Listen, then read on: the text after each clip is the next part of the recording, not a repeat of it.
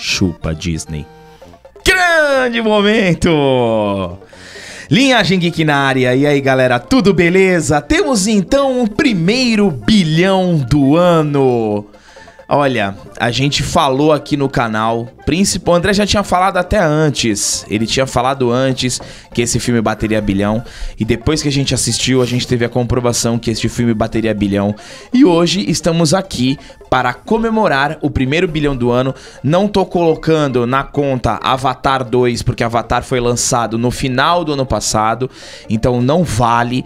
O primeiro bilhão do ano oficialmente se chama Super Mario e a gente sabe muito bem por que bateu bilhão, porque quando você faz uma representação à altura do que toda a história desse personagem tem, quando você respeita a sua base de fã, meu amigo, é sucesso. E este bilhão tem apenas uma palavra que eu classifico é, este bilhão: respeito. E o Mario é a adaptação perfeita. É, eu considero a adaptação perfeita dos games, que é uma adaptação também muito complicada de fazer. A gente tá numa fase, né? Nós temos, tivemos Cavaleiro do Zodíaco e também teremos a série de Yu Hakusho, fora One Piece e outras, que são grandes desafios. Você fazer o live action de é, mangás e animes, de games também é muito difícil. Tem se provado que é difícil porque são erros gigantescos que a gente vem acompanhando com Resident Evil, com Halo e com vários outros que fazem questão de deixar o negócio horroroso. O Mario é muito bom bater. Assim, quando a gente fala que um filme ele bate bilhão, é que o mercado ele vira para esse produto e se pergunta: o que, que eu posso fazer para ter o mesmo resultado? Quando é dono de estúdio, quais títulos nós temos para que a gente possa usar para bater um bilhão? Quais jogos de videogame nós temos antigo que fizeram sucesso e ainda estão na cabeça das pessoas que nós podemos fazer uma história legal, com uma adaptação legal, assim como foi o Mario. O Mario vira o exemplo. Eu quero ter um Mario, eu quero ter uma animação com um bilhão. Todo mundo quer ganhar um bilhão, né? Porque o bilhão hoje também é o, é o sinônimo do sucesso. Arrebatador. É o quando, ápice, quando né? você bate um bilhão, não tem mais nada para falar, filho. Bater um bilhão no cinema, não tem o que dizer. É sucesso. Então, é muito bom que esse sucesso tenha sido o Mario, porque esse Mario vai mostrar para todo mundo, ó, é assim que se faz uma adaptação, incluindo dos games. E assim como o Top Gun, quando bateu um bilhão, surpreendeu muita gente e tá vindo e ele meio que foi o novo pai dos filmes de do gênero de ação, o Mario, ele pode ser um novo pai para as adaptações. Pode ser até para mangá, para desenho, para cartoon, porque é uma adaptação, mas também para quem tem aqueles jogos antigos que fizeram sucesso na década de 80 e 90, que dariam belas, mas belas, eu só vou falar algumas aqui, ó. Mega Man, Battletoads, mas dariam ótimas adaptações. Então, o próprio Alex Kidd, você tem o Sonic, você pode fazer o Sonic também, igual o Mario.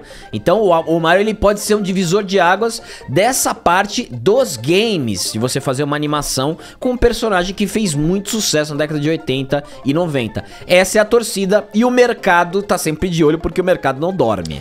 Realmente, galera, isso sim é um grande momento. Então a gente vai repercutir esta notícia do bilhão do Super Mario. Mas primeiro, se inscreve no canal para ficar legal, dá um triplo C, curte, comenta, compartilha. Loja da Linhagem, todas as camisetas que utilizamos estão disponíveis na loja da linhagem.com. Se você quiser colaborar aqui com os irmãos Alba no canal da Linhagem Geek e fazer uma doação, a nossa chave Pix e o nosso QR Code estão disponíveis na tela. Qualquer valor, aquele que tocar no seu coração já vai ajudar bastante. E agora aquele recado para você que está deslocado profissionalmente, está vendo pessoas sendo promovidas na sua frente, você ainda não encontrou o que pode alavancar a sua carreira, a gente vai apresentar para você o método B-Way do nosso parceiro e professor Jonas Bressan. Mais de 20 anos de experiência, 9 livros publicados. O método B-Way está entre os 10 cursos mais vendidos da internet, um dos melhores cursos de inglês do mundo,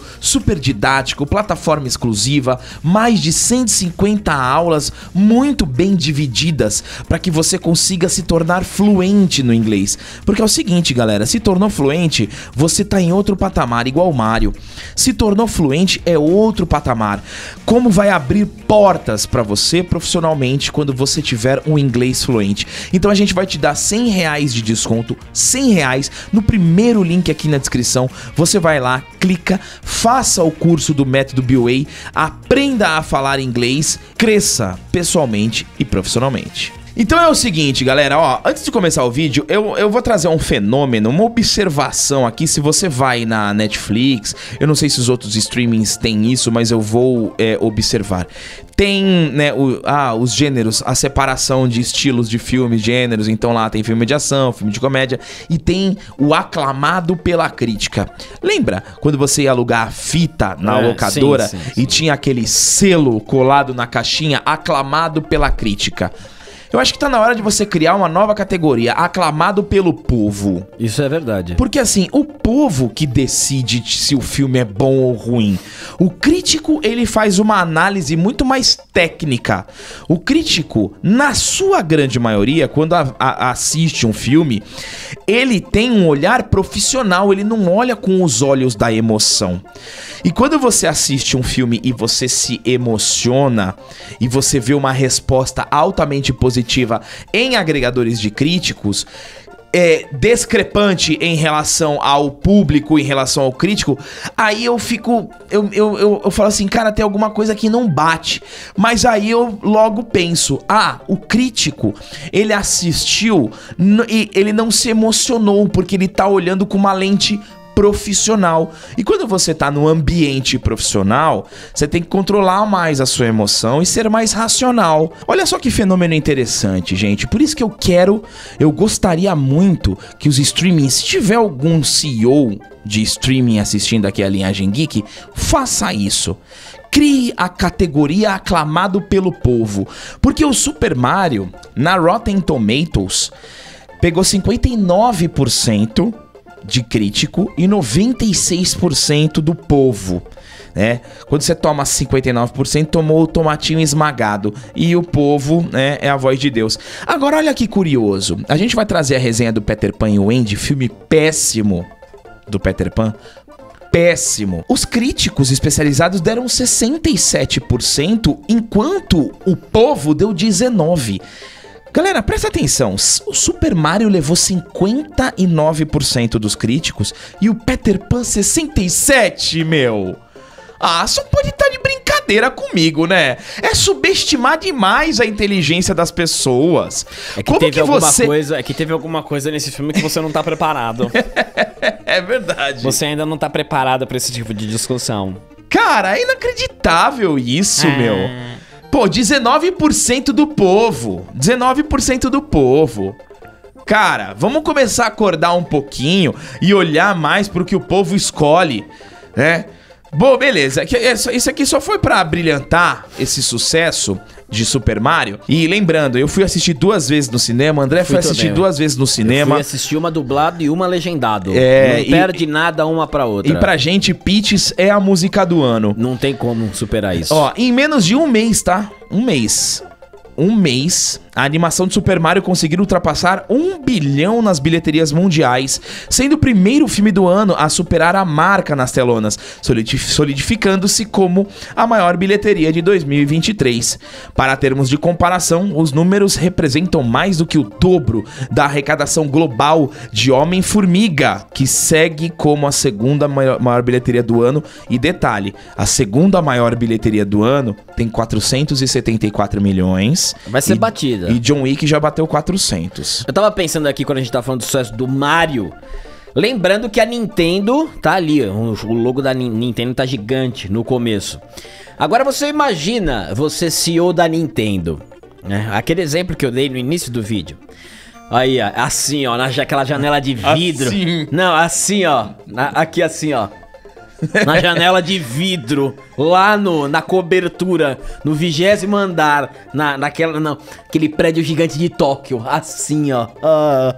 Aí o que que esse cara vai pensar, esse CEO da Nintendo? Nintendo, Super Nintendo, tá ali até, puxa ali o Super Nintendo. Olha ele aí. Esse cara ele vai fazer assim, dá pra mim o Super Nintendo. Ele vai fazer assim, ó. O Mario destruiu nisso aqui, né? Olha só, batemos um bilhão. Aí ele vai chamar a, a Kyotaro, que é a, a, a assessora dele. Kyotaro, vem cá. Quais eram as fitinhas que faziam sucesso nisso aqui? Que a gente tem os direitos, que nós somos a Nintendo. Traz pra mim cinco das que mais venderam aqui desse videogamezinho. Faz um por ano. Acabou. Faz um por ano. Acabou, meu querido.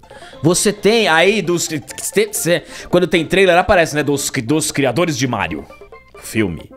Aí você pega isso aqui, faz a mesmíssima coisa. Faz para um público infantil, mas não esquecendo o público que jogava essa fitinha aqui. Acabou, você já tem a fórmula. Você tem a fórmula do Mario. Você pega, você pode pegar quantos foram. Eu tô dando Super Nintendo, mas eu sei que tem o Game Boy, o Nintendinho. É que a gente tá falando uma memória mais afetiva de soprar a fitinha aqui. Que até nisso teve fanservice no Mario de soprar fita. Então, você imagina o catálogo da Nintendo para fazer a adaptação do nível de Mario. Você tem milhares de jogos excelentes para você fazer isso. Então a Nintendo, ela tá com a faca e o queijo na mão. Porque tem muito título que você pode. Não, assim, não bater bilhão. Mas você pode fazer. Você pode ganhar o triplo. É igual o, o, o John Wick. Você não precisa bater bilhão, mas você consegue ganhar o triplo, fazer animação boa. Então a Nintendo ela pode vir como um player gigante nesse de animação.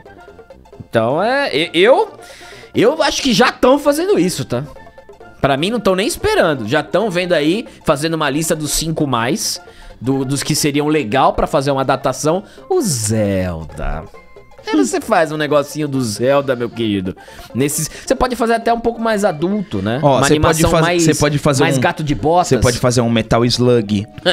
você, você pode... fazer um Battletoads. O Battletoads eu acho fantástico fazer. Aí você pode pegar uma animação maior, fazer um gato de botas, que é algo mais é, um desenvolvimento mais denso, é mais mais adulto mesmo. Uma pessoal de 13, é, 10 a 15 anos, pré-adolescente, que ficaria ótimo também. Então, eu acho que esse, esse abriu-se um negócio no meio da animação. E eu até coloco o Gato de Botas também, que é uma animação fantástica, uma história muito bonita e profunda e filosófica. É. Então, a animação. E aí o que, que acontece quando a gente fala nisso? Cadê a Disney? A Disney tá lá atrás, tá em é. último, tá em último no Mario Kart. Então, é o mercado. E eu, tô, eu acho que vai vir coisa muito boa por aí, vindo de games. Exatamente, porque é o seguinte, galera. Quando você faz um filme para ganhar bilhão, você, você senta aqui na mesa, né, com os seus executivos, com a sua equipe criativa e fala assim: "Eu quero um filme para bater bilhão". As pessoas falam: "Puxa, um filme para bater bilhão, caramba". É, poxa, como que a gente vai trabalhar? Agora, quando você senta, né, no caso do, do, do Mario, para mim foi isso. Até dando os parabéns pra Illumination. É, eles sentaram e falaram assim: Eu quero fazer um filme para emocionar. Eu quero fazer um filme para tocar no coração de todos. Eu quero fazer um filme que, do oitentista ao noventista, até a criança de 3 anos de hoje se emocione. Aí você vai falar: Hum se a gente fizer um filme de Mario que a gente consiga emocionar todas as gerações que viveram a história desse cara, a gente bate bilhão. Esse é o sucesso. Diferentemente, por exemplo, Maverick. Maverick foi um azarão absurdo. O Maverick, é, eu duvido que passou pela cabeça de qualquer um da produção do Tom Cruise que esse filme seria, representaria o que ele foi mas a gente, mas eu tinha certeza que o Tom Cruise sabia que esse filme ia tocar no coração das pessoas como tocou. Então, essa resposta do Mario é exatamente isso que o André falou. Pode vir na contramão. Enquanto você tá você tem aí a Disney virando as costas para sua história, renegando a sua audiência, porque aqui a gente tem um exemplo claríssimo.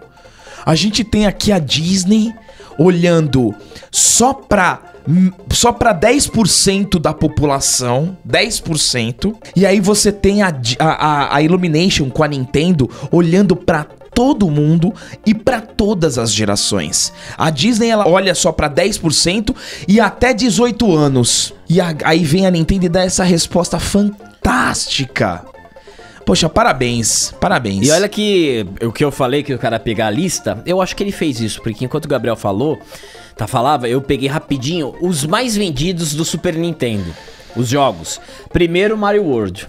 Segundo Mario All Stars. Terceiro Donkey Kong. Quarto Mario Kart. Aí vem Street Fighter que quebra os 5, Street Fighter 2. Ou seja, dos cinco jogos mais vendidos de todos os tempos da, da Nintendo, os quatro estão nesse filme. Exatamente. Os quatro estão. E aí a gente pode ir, né? A gente tem o Zelda, a gente tem F-Zero, a gente tem F0. Dragon Quest. É bom. A gente tem é, o Chrono Trigger também, que Esse é... eu não lembro. Esse eu lembro muito Do que bem. que é? Chrono Trigger, acho que se eu não me engano, é o mesmo traço do. É o Akira Toriyama que desenhou.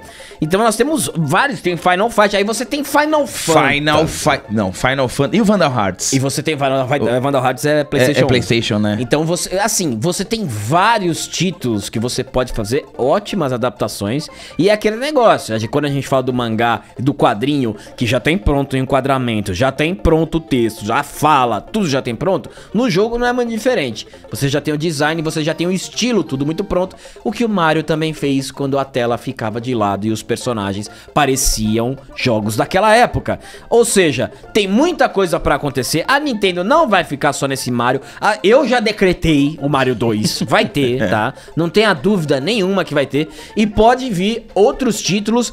Eu espero um Zelda lindamente, tá? Lindamente. Um Zelda bem feito aos moldes do Gato de Botas 2. É outro bilhão certo da Nintendo se fizer com o mesmo respeito que fez o Mario.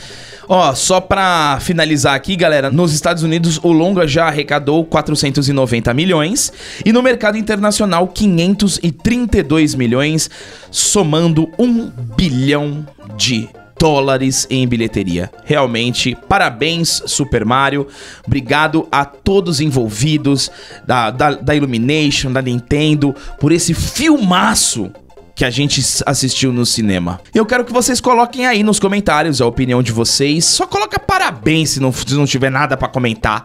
Muito obrigado por chegarem até aqui. Dá um triplo C, se inscreve no canal pra ficar legal e até o próximo vídeo.